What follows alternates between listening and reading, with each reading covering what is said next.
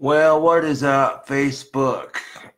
So, I finally got the wands to the last stage. Now I'm just sitting here waiting for the wands to dry.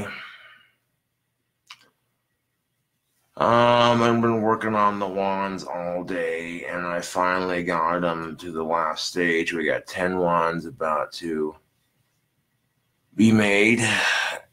That'll be freaking sweet. So hopefully within tomorrow or the next day. But I've done I've done all I can for the wands as far as making them goes. Now I'm just waiting patiently. Uh, so my eyeliner got rubbed off. Uh, so I think I might have been doing this at one point.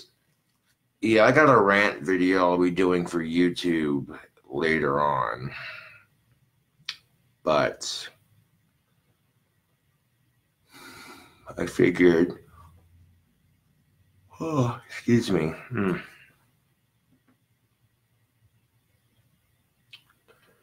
That is true, Chris Hubble. Good things come to those who wait patiently.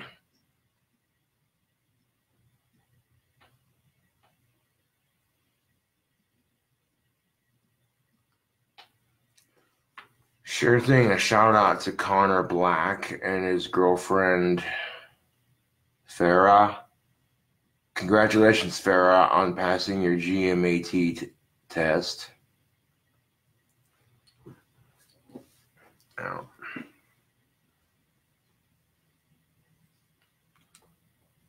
I do do I do occasionally do live videos on my Facebook every so often just because it's good to keep both platforms with something fresh.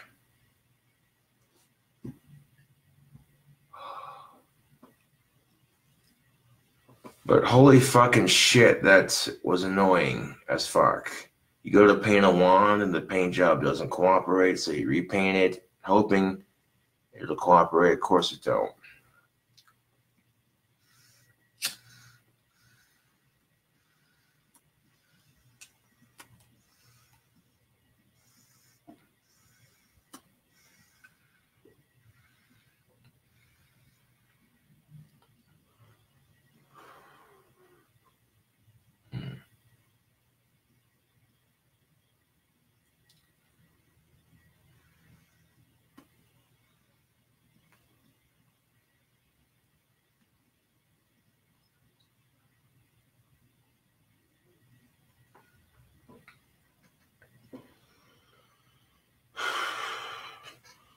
I would have gotten the batch of wands done sooner had the paint not decided to do what it did.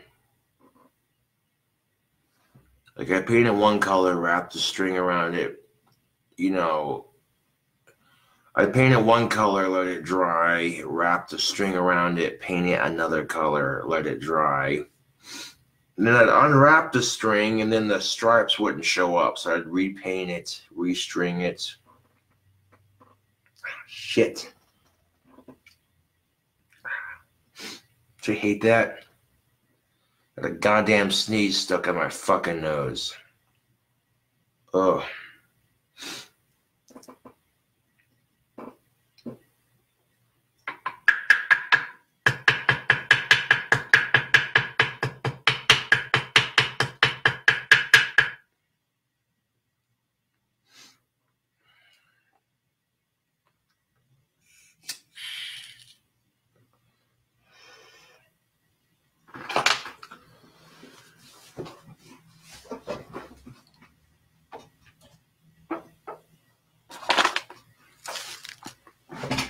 Okay, hypothetical. What if someone had said you stole their heart, but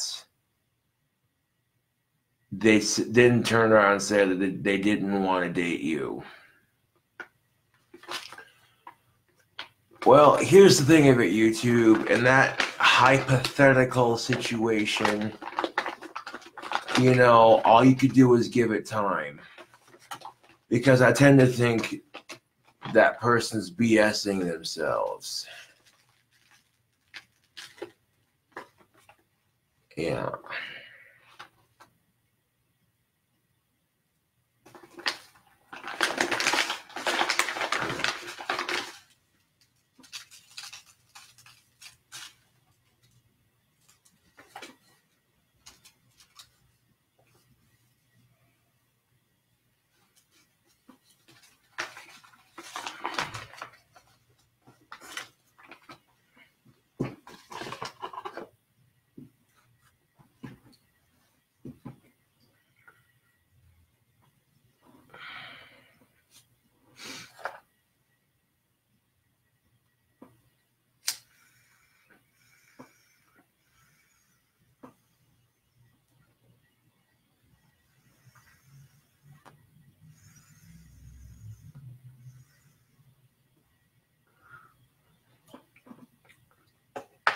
Anyways, Facebook, thank you for watching. We should have a batch of wants here done tomorrow or the next day.